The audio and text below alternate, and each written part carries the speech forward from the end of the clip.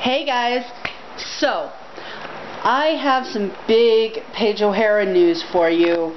Um, if you don't know, she's the voice of Belle in Beauty and the Beast, and for those of you who do know and forgot, you're really smart. No offense. Okay. Now, I was searching on the web uh, a few months ago, and I I stumbled upon this animated show called Prince Valiant, and the show starred Robby Benson, who actually played the Beast, um, but he actually sounds younger in this movie. I mean, in this show. But that's not the biggest news. The biggest news was during the end, he falls in love with the Princess Aleta.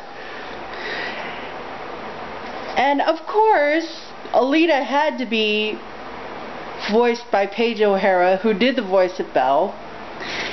And if you've seen Prince Valiant, how did you like it? It it was amazing, right? And when I first saw the videos of Paige O'Hara and Robby Benson as Prince Valiant and Princess Aleta, I just could not stop laughing. It was all around fun.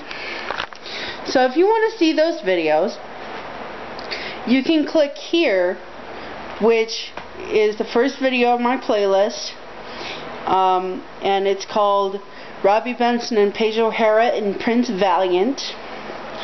Or, if you want to start all the way at the beginning, I will put a link right here linking you to the very first one and you can start from there. Now I have to warn you in the earlier ones they're split into two so you'll actually have to sit there for a while. Now take breaks in between. Just get up and walk around or go outside, um, have a little fun. So I just wanted to give you that bit of news. And I will talk to you guys later. Bye. Hey guys. So I know I just made a video to you guys about uh, 10, 15 seconds ago. But I was just thinking, maybe I could do Disney Princess birthday shoutouts.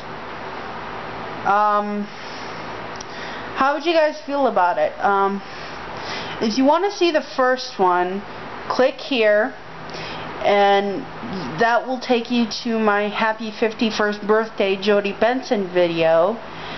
And, um, I want you to create a comment or video response uh, telling me if Disney Princess birthday shoutouts would be okay for me or what else do you guys want to see in my videos. So with that I will leave you to decide and comment or leave a video response and I will see you later Bye.